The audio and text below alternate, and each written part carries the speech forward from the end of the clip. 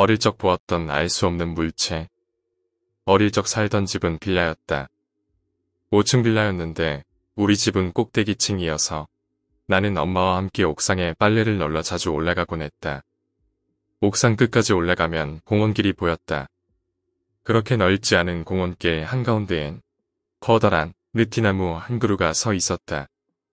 느티나무 옆에는 작은 유치원 하나가 있었고 그리고 유치원이 세워진 길을 따라 오밀조밀한 작은 상가들이 모여 있었다. 이 이야기는 그 유치원에 다니는 내가 겪었던 기묘한 일이다. 벌써 30년은 훌쩍 넘어버린 이야기다. 당시 7살의 난 느티나무 옆에 유치원에 다녔다. 부모님께서는 맞벌이셨고 덕분에 나는 항상 가장 늦게까지 유치원에 남아 있어야 했다. 특히 겨울철이 되면 금방 해가 져버려 항상 밖이 어두워지면 무서워졌던 기억이 생생했다. 그날은 한겨울이었다. 밖에는 눈이 내렸는데 대학 12월 즈음이었던 것으로 기억한다. 펑펑 한방 눈이 내리는 것이다. 어린 나는 그것이 못내 좋아 선생님의 만류에도 불구하고 유치원 앞 작은 놀이터로 나가 눈을 맞으며 즐거워하고 있었다. 미끄럼틀도 타고 그네 위로 소복히 쌓이는 눈을 슥슥 치워내고 그네도 탔다. 그때였다. 바람 때문인지 눈 때문인지 느티나무의 가지들이 좌우로 흔들흔들거리며 그 사이 뭔가가 매달린 것 같은 게 내 눈에 보인 것이다. 지금 생각해보면 그건 마치 목을 매달고 있는 사람같이 생겼었다. 나는 호기심에 틀어져라 그것을 바라보았다. 바람이 불 때마다 눈발이 흩날릴 때마다 그것은 점점 더 선명하게 보이는 것 같았다. 마침 따라 나온 선생님이 나를 데리고 유치원으로 들어가셨고 나는 금세 그것을 잊어버렸다. 눈은 며칠이고 내렸다.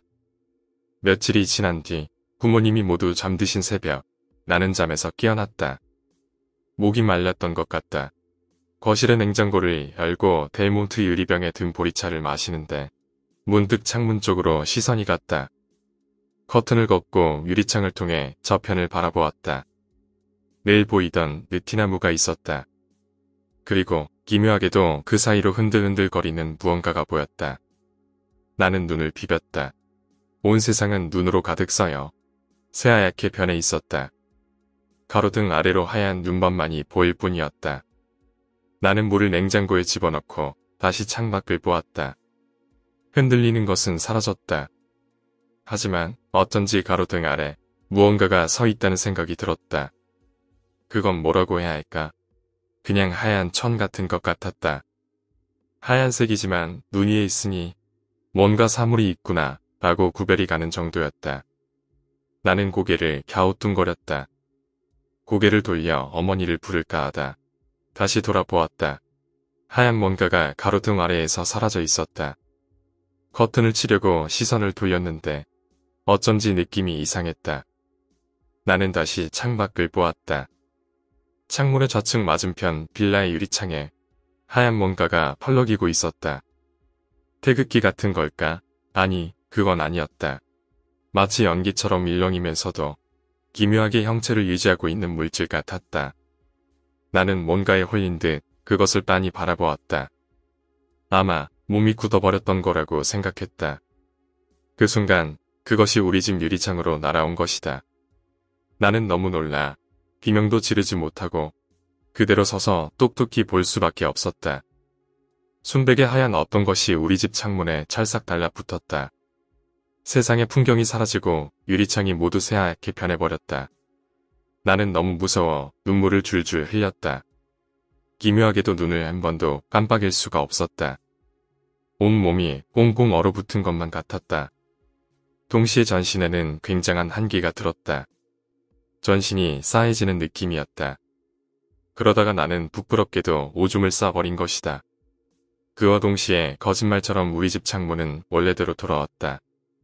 감히 엄두가 나지 않아 창밖을 더 내다보지 못하고 눈을 쿡 감은 채 나는 엉엉 울어버렸다. 흔히들 이야기하는 괴담에서의 경험처럼 귀신이 붙어서 소리를 들었다던가 무당을 불렀다던가 하는 일은 없었다. 부모님은 내가 안 좋은 꿈을 꾸었거나 가위에 들렸던 거라 생각하신 모양이다. 내게도 별탈은 없었다. 나는 크게 다치는 곳 없이 건강하게 유치원을 졸업하고 초등학교에 입학했고 초등학교를 졸업할 때쯤엔 이사를 갔다. 지금도 가끔씩 눈이 내리면 나는 그게 썩 달갑진 않은 편이다. 몇 년 전엔 원래 살던 곳에 갈 일이 있어 그 느티나무를 찾은 적도 있었다. 느티나무는 그 자리에 그대로 있었는데 이제 와보니 생각보다 그렇게 크지 않았다는 것을 알 수 있었다. 의문의 하얀 물체는 대체 뭐였을까? 그건 상상이라기엔 지나치게 생생했고 마치 공포영화처럼 내게 다가와 아직까지 풀리지 않는 미스터리로 남아있을 뿐이다. 오늘 이야기는 여기까지입니다. 오늘 이야기가 재미있으셨다면 구독과 좋아요 부탁드립니다. 감사합니다.